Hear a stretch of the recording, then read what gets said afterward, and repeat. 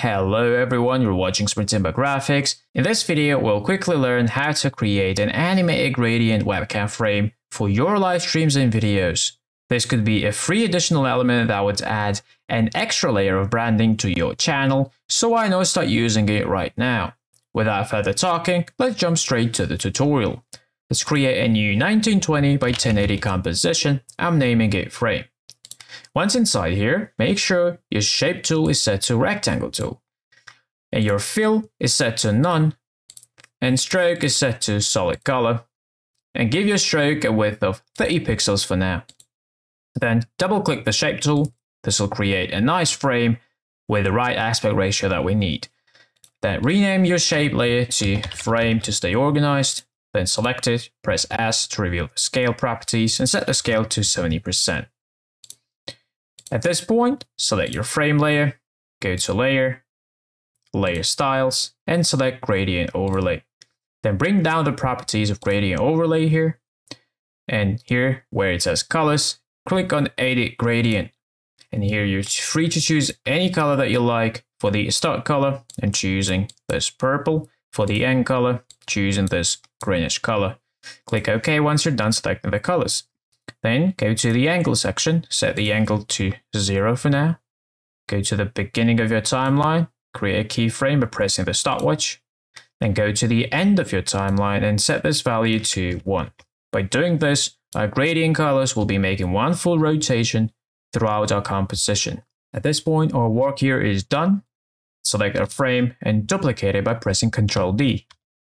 Rename it to glow and bring uh, the glow layer under our frame layer. Then go to effects and presets, search for Gaussian blur, and apply it to the glow layer. Increase the blurriness value until you see it fit. I'll set it to 200.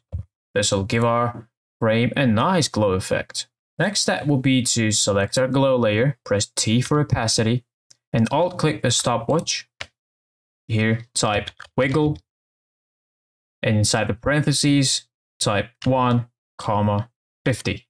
Then click away. This will give our glow layer an additional animation. So sometimes it'll go dim and then it will come back. All right, so you could select the glow layer now and increasing the stroke will make the glow effect more intensive. You can see. So you can play around with it on your own and leave it where you see it fit. I'm going to set it to 50. At this point, you could add your logo to the frame. Let me bring my logo. Place your logo either on top or on the bottom. I personally like it to be on the bottom. You could do the same with your logo to give it some glow. Because you can see, depending on your logo, my logo is sort of dark, so dark colors don't really glow that well. Select your logo, press Ctrl D to duplicate it, and apply Gaussian blur to the bottom layer. And again, Set the value to like 200-ish. That'll give our logo a subtle glow effect.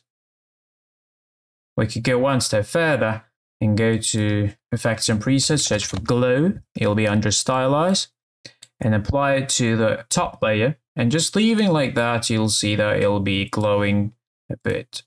So if we preview this, you'll see our webcam is pretty much done and ready to be exported and used in any software that you like. At this point, I think our tutorial is complete. I hope that you enjoyed this tutorial and learned something new. Thank you so much for watching, and I'll see you in the next tutorial.